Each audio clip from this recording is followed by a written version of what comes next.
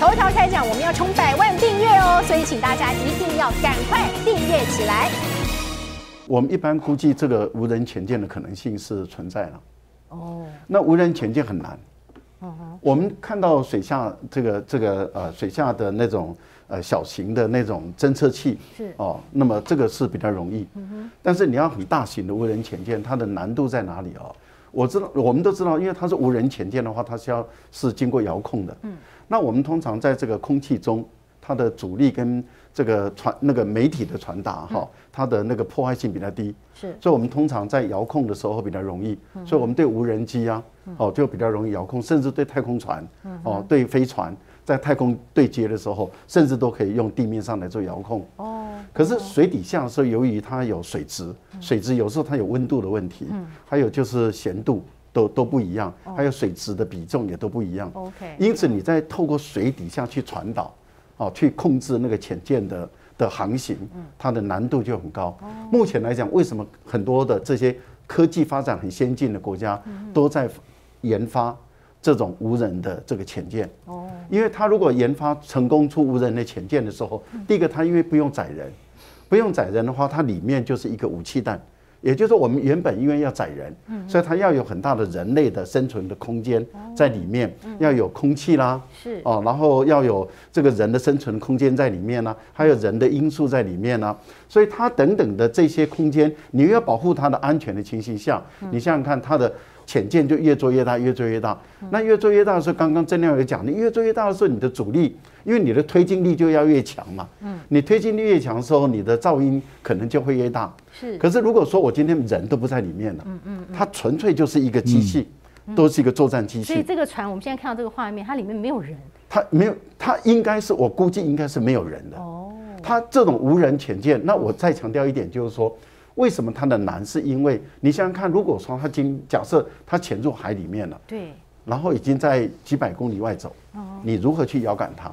我们在太空可以的，太空因为我们中间的那个水那个我们的的遥遥感的那个讯号的的阻力很低嘛，嗯，可是水里面的话，它的那无人潜艇也可以发射鱼雷跟飞弹，可以，嗯，所以它现在目前那做到这个程度就。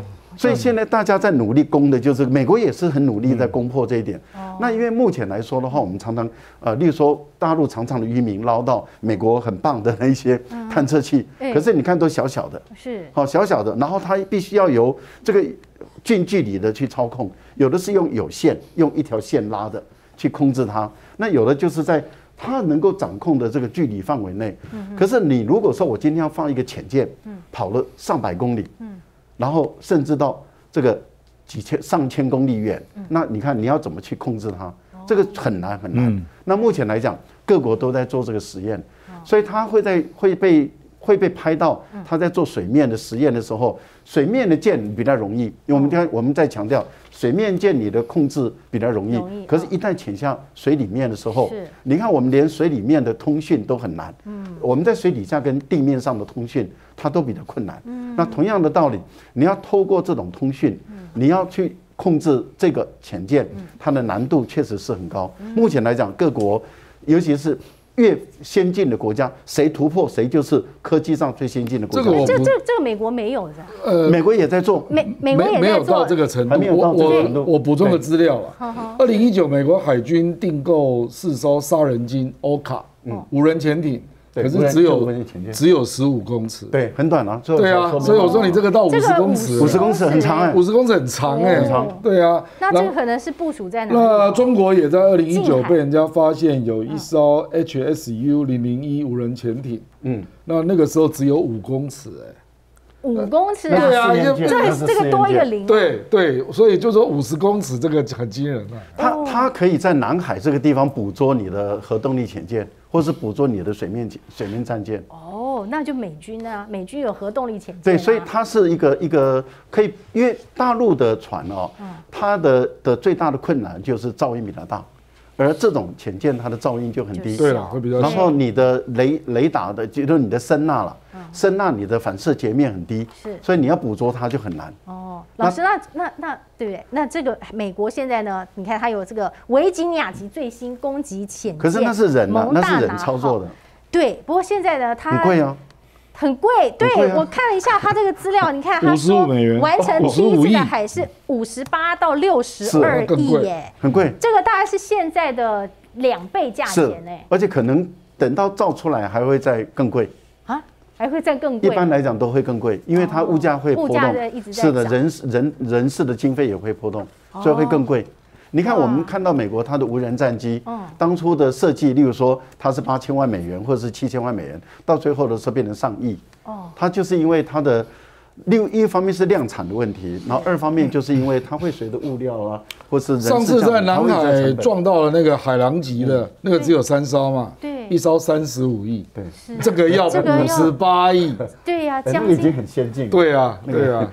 差很多，不，所以美国这个三军花钱真是可怕，这个太可怕了，这样子花钱。都已经背债背三十兆了，然后继续这样花，哇，哪来的钱呢？然后偏偏你看拜登还在提什么？哎，忽然提到特斯拉了，各位，本来他说我们美国发展电动车，他绝口不提特斯拉，啊，办活动的时候也不找马马斯克，Elon Musk 也不找他。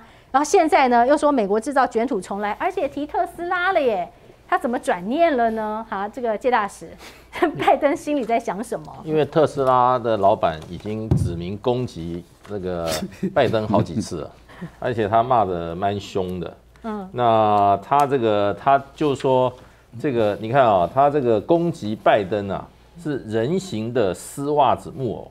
嗯，然后嗯，他还说啊。这个拜登袜子就袜子湿掉了的木偶，呃，湿袜子的木偶，这是对拜登一种非常贬义之词。他还骂拜登说，拜登像对待傻瓜一样对待美国公众。嗯，对，所以我觉得美国的政治人物事实上是可以跟这些哈这些所谓的社会上的这些啊有影响力的人士可以对干，没有问题。嗯嗯。那问题就是说，拜登现在自己处境那么差。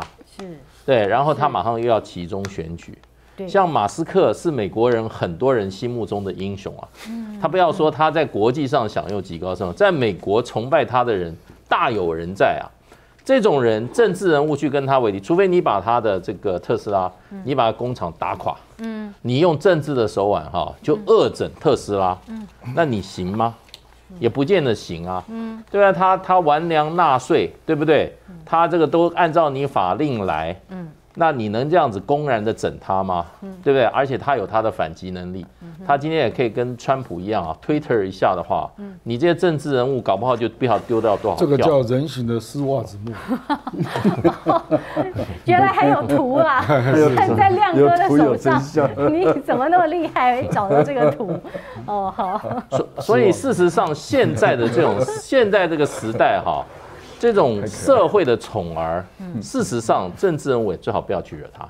嗯，尤其在美国这种社会，这种社会，所以我觉得拜登大概是他的政治顾问啊，跟他讲了一下，说你现在跟马斯克这样斗哈，他再讲你几下话，你的票都跑光了。而而且这个特特斯拉，特斯拉在 Made in China。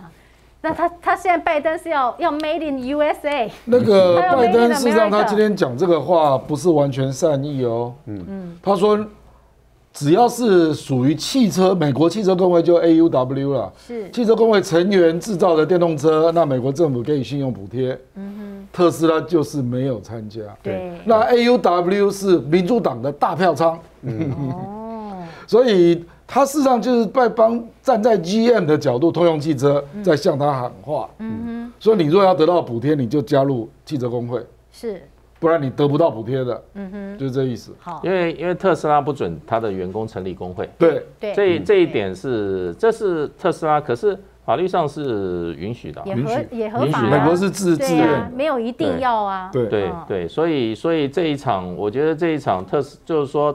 马斯克跟这个拜登之间的这种斗法哈，我倒是会奉劝那个拜登哦，不要出手太急，对，要不然影响到他的选情。而且他现在事实上，他现在已经是已经快四面楚歌了，对，最好减少树敌。秦教官下召集令，支持中天的好朋友们，玉琴呼吁大家加入订阅冲刺的行列，距离百万订阅呢，只剩下不到十万的差距了。所以，朋友们，让我们一起按赞、分享、订阅，让全球的华人都看得到。